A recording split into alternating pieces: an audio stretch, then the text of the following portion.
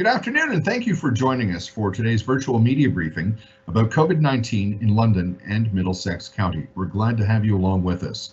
Also happy to be joined this afternoon by the Mayor of London, Ed Holder, the Warden of Middlesex County, Cathy Burghardt Jesson, the Medical Officer of Health at the Middlesex London Health Unit, Dr. Chris Mackey, and the Executive Vice President, Interim Chief Clinical Officer, and Chief Nursing Officer at the London Health Sciences Centre, Carol Young Ritchie.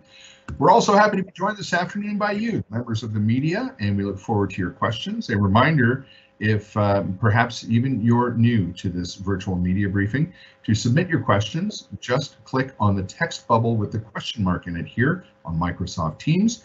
That will uh, submit your question, and when you do so, if you could indicate your name as well as your media outlet and who your question is for. And finally, to those joining us on Rogers Television or the Rogers Facebook page or YouTube channel, listeners on Global News Radio 980 CFPL, and viewers on the CTV London website, we welcome you as well to our briefing this afternoon. Let's get to our opening remarks right away, and we'll start with Mayor Ed Holder. Well, thanks, Dan, and good afternoon, everyone. I'm encouraged to see relatively stable case counts continuing here in London Middlesex with flat to slightly lower case uh, counts across Ontario. The fact that we're seeing these numbers, even as students today begin their fourth week of in-class learning here in London, I think that's really a testament to the effectiveness of the vaccines and our ongoing commitment to responsible public health measures. Speaking of responsible, let me say that I am pleased to report that the vast majority of those at Western conducted themselves responsibly over the weekend. Many stayed away from Broughdale and surrounding areas, while those who did attend were generally respectful. However, it was a somewhat different uh, story during the evening and overnight hours on Saturday, specifically in the Huron Street area. During that time, I can tell you our bylaw enforcement officers responded to 24 noise complaints, several of which were referred to the London Police Service due to crowd size, and I anticipate they'll provide more information as it's available. As for earlier in the day, and again, these are in addition to whatever fines or charges were issued by police, our bylaw enforcement officers issued a dozen fines for noise, public nuisance party attendance, use of closed street, and public urination. A number of other fines will be issued to individuals under the public nuisance bylaw for uh, as that goes forward. Uh, in addition, and based on evidence still being reviewed and collected, it's entirely possible we'll see additional uh, charges issued later in the week, including violations of the Medical Officer of Health's Section 22 order. I want to publicly acknowledge and thank all of our first responders, especially uh, the London Police Service, uh, other police service who, was, who were brought in, EMS, fire and bylaw enforcement for their efforts over the weekend. You know, monitoring that kind of activity with crowds in that kind of state is not an easy thing to do, but they did their jobs with great professionalism and dignity. So on behalf of all Londoners, let me say thank you for helping us prevent the sort of chaos we've seen in other years. The most important outcome for where Broughdale is concerned is the fact that we had no reports of serious injuries. That's always a prime concern and ultimate objective. So for that, once again, thank you to the vast majority of Western students who get it, who acted appropriately, and to our dedicated first responders. That's it for me. Over to you, Warden Cathy. Great. Well, thank you very much, uh, Mariette. And as always, it's great to be with uh, this Monday afternoon gang. Um, I want, hope, trust that everybody had a good weekend. Um, over the weekend um, and into this morning, I did reach out to colleagues across the county, and I'm pleased to report that for the most part, the requirement for proof of vaccination has largely been met with cooperation. Unfortunately, though, Unfortunately, though, there have been uh, the odd incident where patrons have aggressively pushed back to the staff asking for that proof of vaccination. Respectfully, I would ask those who do not agree with the, the requirements of entry that we all have to meet it to consider your behavior and attitude towards those doing what is required of them. There is no question that the pressures of living with the pandemic for the last 18 or 19 months is taking its toll. Emotions are high, and it does feel like everyone is living on the edge. Throughout the pandemic, I have understood that there will always be differing opinions on what is happening, how it's being handled, and my message has never wavered. And while it might seem trite, my message will not change. Be kind and respectful to everyone. We all have choices as to how we are going to manage the situation in front of us and how we are going to get through this. I trust that working together, we will find our way through. We are just about there. I can see the end of this, and all we have to do is keep working together. And with that, I will hand it over to Dr. Mackey. Thank you very much, Madam Warden and uh, Mr. Mayor. Most of the comments I have to make today are housekeeping. Uh, we do see continued similar trends to the past in terms of case counts being relatively flat in the region and uh, the vaccine campaign continuing to vaccinate, you know, about 1% of the population each week, give or take a bit. Um, we have uh, we have reached an important milestone in all of our neighborhoods in Middlesex and London. There were some neighborhoods that had been falling behind from a vaccination perspective. Uh, we've now vaccinated uh, at least 65% of people in every neighborhood. Now, when you get down to the neighborhood level, there's a lot more uh, disparity in terms of the vaccination rate. And so the fact that we've been able to bring even the uh, the hardest hit neighborhoods up to 65% vaccination is something we should all be proud of. Uh, in particular, White Oaks and the the two neighborhoods uh, around White Oaks, we're uh, among the last to reach that milestone. And the uh, White Oaks mobile vaccination clinic that has been in place for two weeks and will be in place for the next two weeks as well uh, has been an important part of that. So that's tremendous. Uh, we've had a generally good response to vaccination passports, the Section 22 orders. Working with operators have, have been generally quite positive there. I know uh, Dan is going to mention in a moment uh, some some housekeeping items around the health unit website and our operations around September 30th. So I won't take his uh, thunder away there, but uh, hopefully that is some useful information and happy to pass now to Carol Young Ritchie.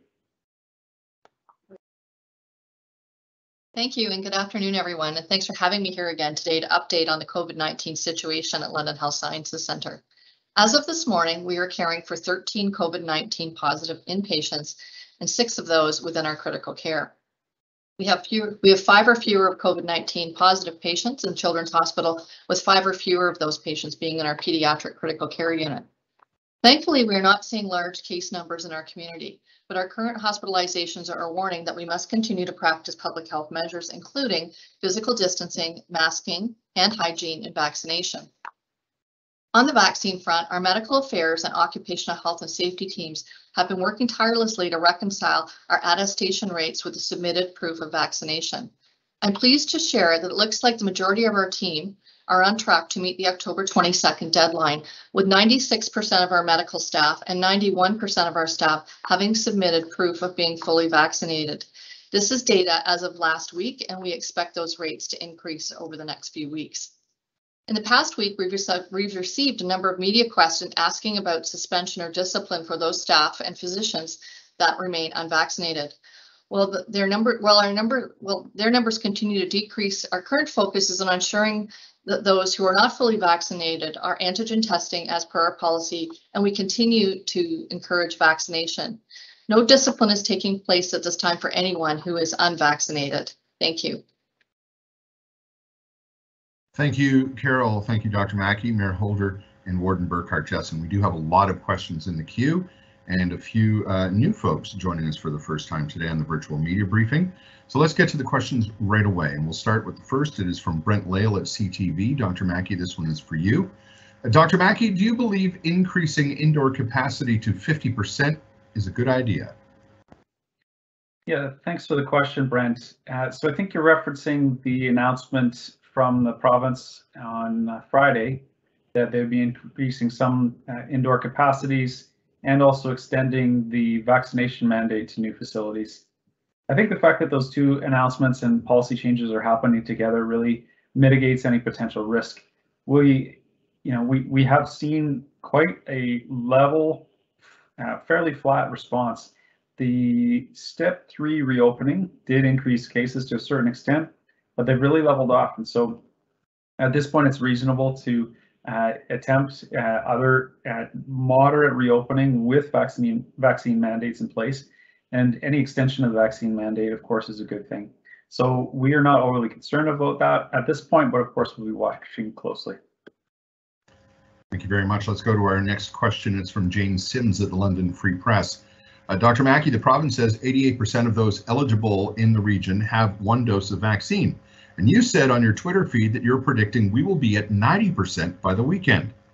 Why are mobile clinics such as the one at White Oaks Mall making that much of a difference? There are two things right now, Jane. There are two things that are making a big difference. First of all, mobile clinics making the vaccine more accessible for people. Second of all, the vaccine mandates really making it clear to people that if you want to resume normal life, vaccination is the path. Those together are a powerful incentive for those that might have been sitting on the fence or delaying or otherwise occupied, you know, paying attention to other parts of their lives. Uh, so we're very happy about those two things. The we're also very happy that the health unit is doing well compared to provincial and, and other health units. And again, uh, for all the partnership for from London Health Science Centre, City of London, the County of Middlesex, uh, Middlesex London Paramedic Service, so many uh, individuals who have really uh, offered everything, blood, sweat, and tears to try and make sure that this campaign can move forward as efficiently and effectively as possible in London and Middlesex. And uh, I know we've got a couple of follow-ups here from Jane for you, Dr. Mackey. 90% uh, has been the magic number sought by public health since the vaccination campaign began. Can we expect that reaching this milestone, plus the vaccine certificate program, will lead to further loosening of restrictions this fall even with the Delta variant still around? Great question, Jane. So we are starting to see some of those restrictions uh, eased. You, you saw that in the announcement on Friday, and that's clearly in part a reflection of the high vaccination rate. We'll be much happier when it's our second dose rate that is hitting 90%. Uh, at the moment, it's our first dose, and, and we know that second doses are extremely important when you talk about the Delta variant. And uh, last question here from Jane for right now. Uh, Dr. Mackey, the outbreak list on the COVID dashboard has grown now to five schools. Can you tell us about those outbreaks and if these are cases acquired in school? Are you worried about how many cases are showing up in schools? Also, given the reports last week from Pfizer and BioNTech that said their vaccine is safe for children, how soon do you think it will be before we start vaccinating kids here? Boy, Jane, uh, we sure hope that we are able to start vaccinating kids very soon. At this point, we have very small outbreaks in schools. The, the definition that we're using around an outbreak in school is a single case of transmission.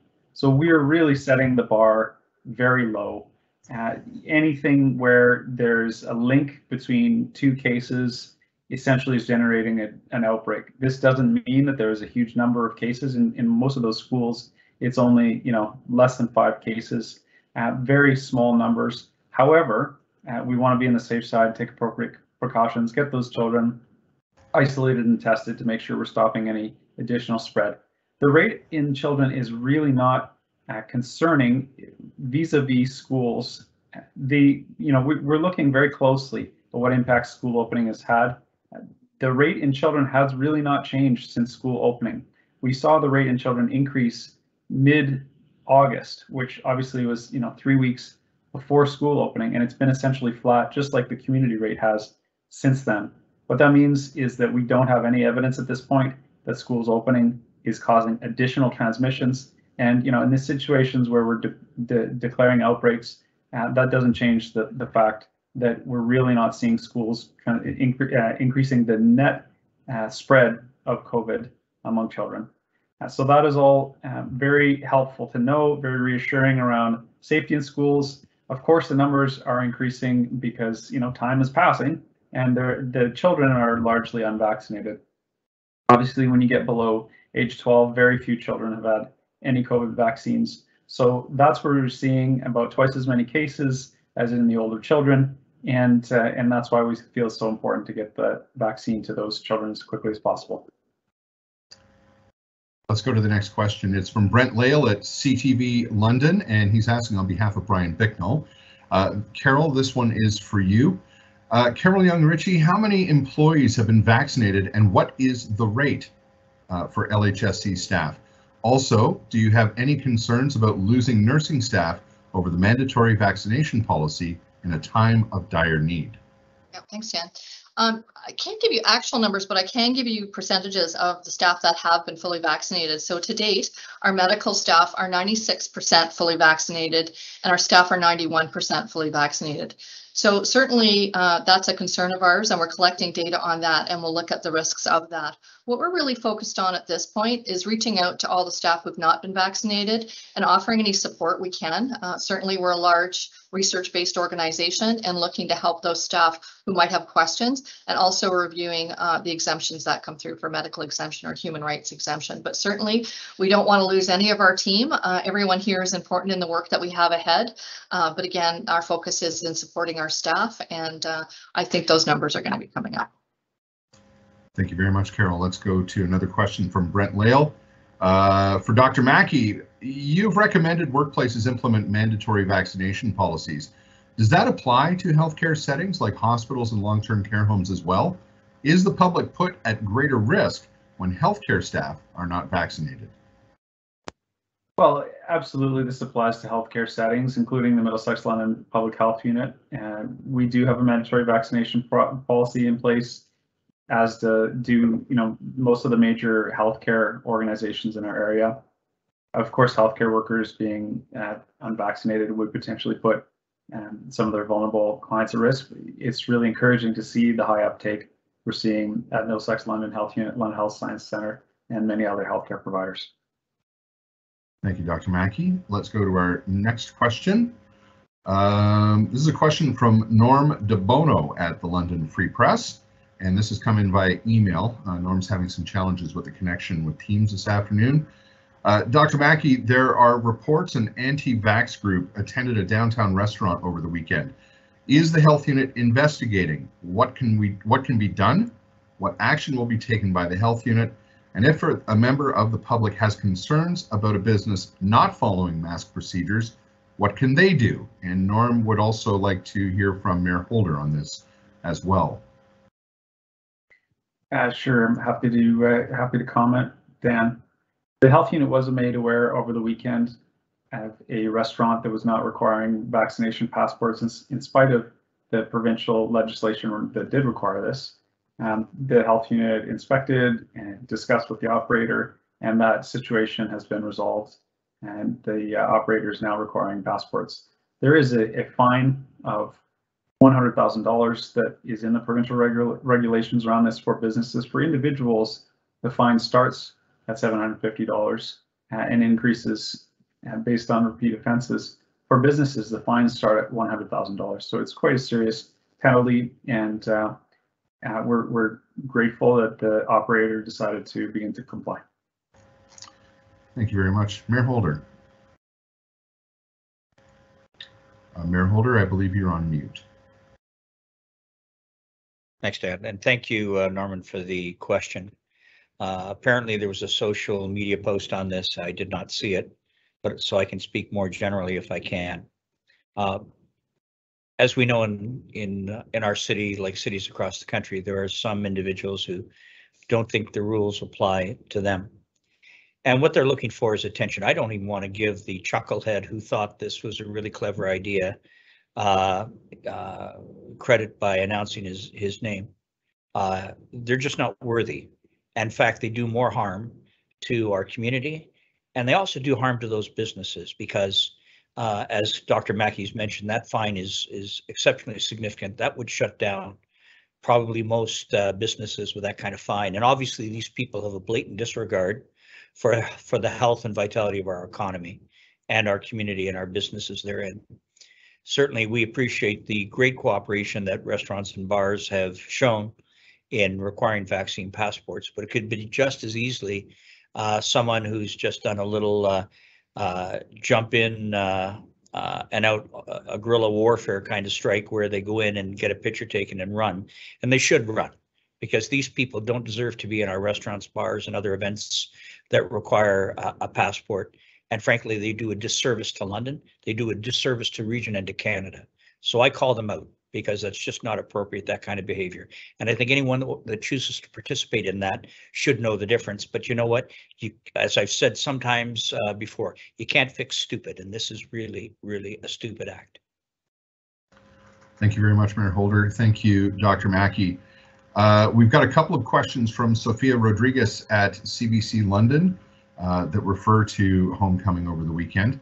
Um, Dr. Mackey, Sophia asks, given the videos of mass outdoor gatherings at night during homecoming, how worried are you about an uptick in cases among young people? Would you recommend that all students who attended get tested? Yeah, thank, thanks for the question, Sophia.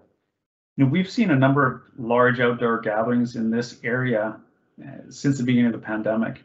The difference with what you're seeing on, you know, Huron Street on this past weekend is that people aren't distancing, they're not masking.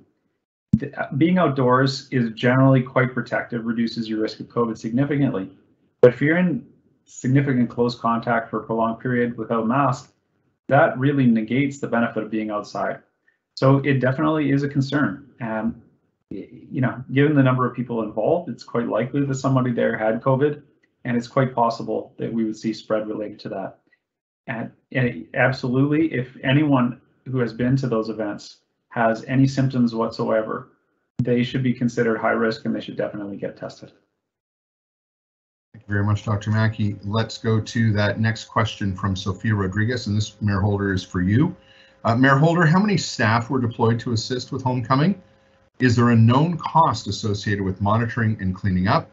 And how many fines were issued to individuals, tenants who violated COVID orders?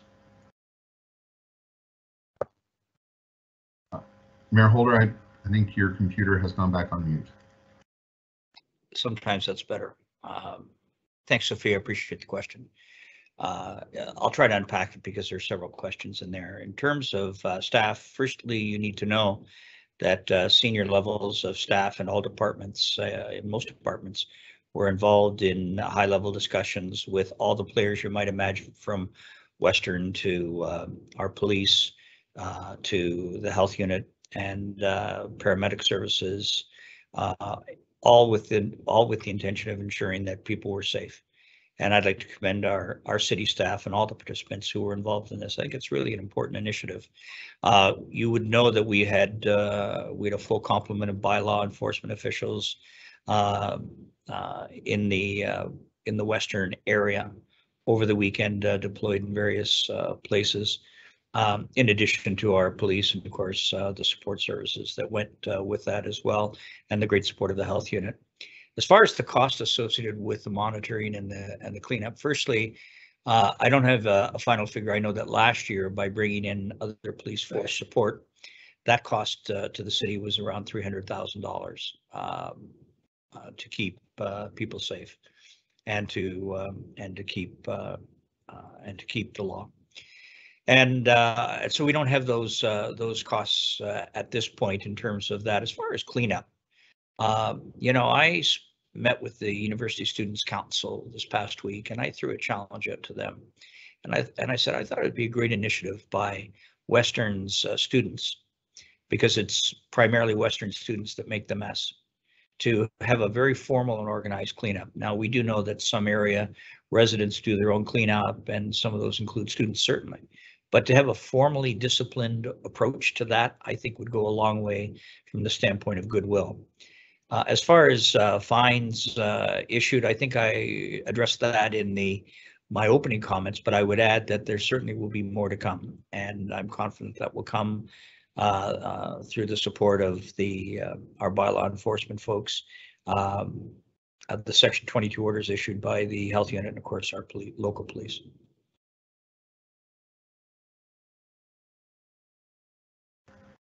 Thank you very much, Mayor Holder. And I am going to take a quick moment to um, just check with everyone. We do have, it's a very busy Monday. We've got a lot of ground to cover and we do have uh, a number of questions left.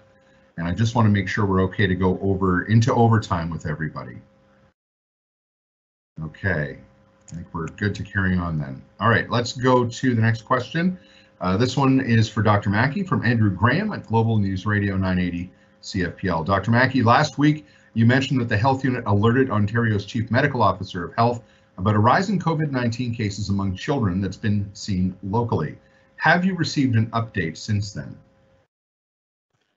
Yeah, thanks, Andrew. We did ask the uh, chief MOH to consider adding the COVID vaccines to the Immunization of School Pupils Act, which would make them, you know, required for students, along with many other vaccines that are already required.